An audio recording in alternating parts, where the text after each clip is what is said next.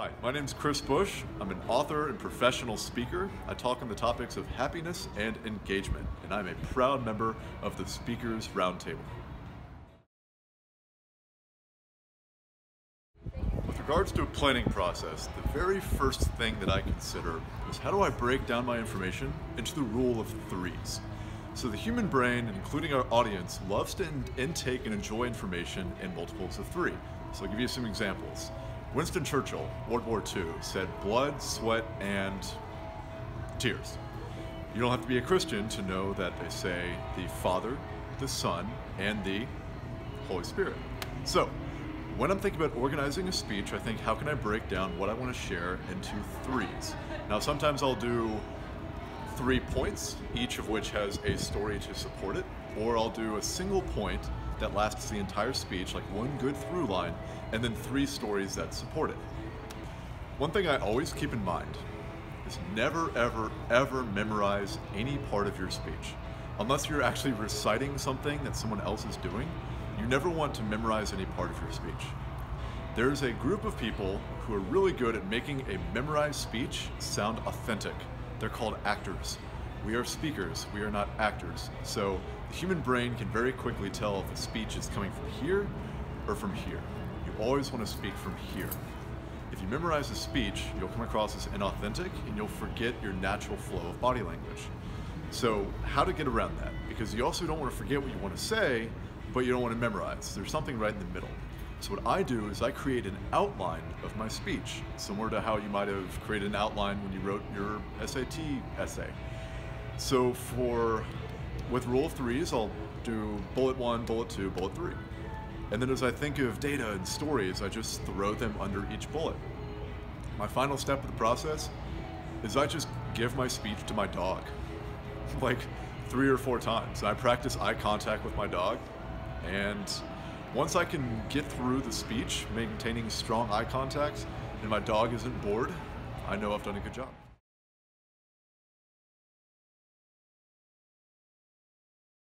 So two answers here. I think you handle a hostile audience member and an apathetic audience in general a little bit differently. A couple years ago, I gave a speech to a small real estate company in Atlanta about how to understand millennials in the workplace, how to work with us, and how we're not all so bad. Now, pretty quickly in the speech, I got a heckler. I had a guy who every five minutes he had to inject something like the two old guys from the Muppets, but not as funny. He'd say things like, yeah, they're just a bunch of snowflakes. They don't deserve anything that they're asking for. So, after a certain point, after his third or fourth comment, I just stopped the speech and I looked at him and said, Sir, could you tell me your name? Jared? It's not his full name. Jared, you have some really strong opinions about this subject. Would you mind sharing with everyone?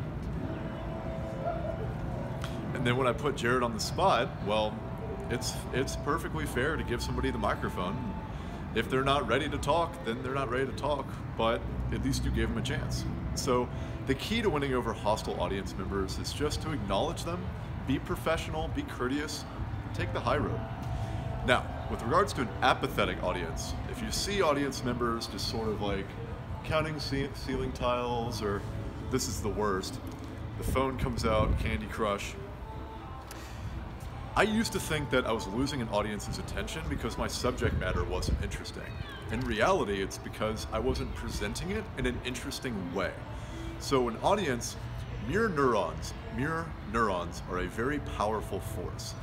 You as a speaker need to set the level of excitement and energy in the room. You'll never see somebody, audience, acting way more excited than the speaker. Usually the speaker sets the high bar. So you go out there, no matter what your topic, you present it like it's the most engaging, interesting speech you've ever given. If you have to go out and talk about how to prepare Pop-Tarts, Guys, I'm about to teach you how to make the best breakfast ever. First, you're gonna take it out of that crinkly little silver tin, right? And you're just gonna gaze upon those beautiful sprinkles. And here's the amazing part. You put it in the toaster and pop! It comes out 30 seconds later, you have a hot, delicious breakfast. Now, who doesn't want that? So a lot of keeping an audience engaged and non-apathetic is not what you present, but how you present it. So my advice, in a nutshell, is always present as if it's the most exciting and engaging topic you've ever presented.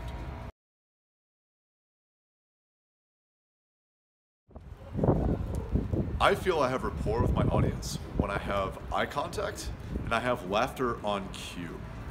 So if I'm missing one of those with eye contact, I like to reel people back in by simply giving them eye contact myself. There's a funny psychological trick you can play with your audience. If there are a couple people disengaged or just looking around or on their phone, just speak to them for about 15 seconds. People tend to notice when they're being watched, and then you can win back their engagement. With regards to laughter on cue, if the audience isn't laughing at your jokes on cue, it probably wasn't the joke, it was just your delivery. So try delivering the joke, and if you have if you want to practice delivering jokes and your comedic timing, watch stand-up comedians like Jim Jefferies or Dave Chappelle are a couple of my favorites.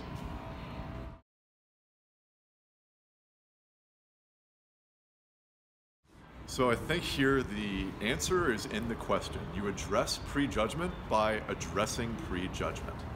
So that comes in two parts. You need to understand first what your audience is going to think of you based on your presentation and the way you present yourself, who you are, the color of your skin, your age. Know what they're thinking, and, sec- and step two is just put it out on the table. I'll give you an example of this. A friend of mine speaks in inner city schools. She is a wealthy, tall, beautiful Caucasian woman. So when she began speaking in these schools, audiences were by default disengaged because they thought what can this one possibly teach me about life? We've had different life journeys. So she began interviewing the students afterwards to say, what can I do to better win over students from your background? And they said, well, this is what we thought of you when you first walked on stage. So now when she walks on stage, guess what she says? She goes, I bet you're all wondering what a fancy looking tall white woman knows anything about life. I bet you're all wondering what I could possibly tell you about the difficulties of life. The audience goes, oh, I was not expecting her to say that. Now, that's a really extreme case, but again, just know what your audience's preconceptions of you might be. And if they're really strong, just address them right up front. And that breaks the fourth wall and engages your audience right away.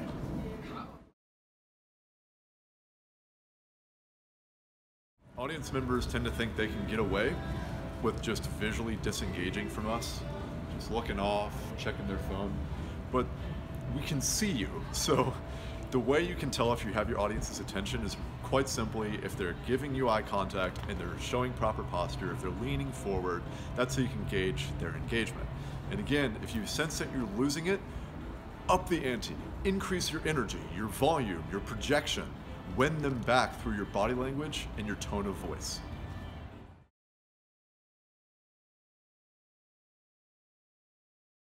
The most powerful word in the English language is you.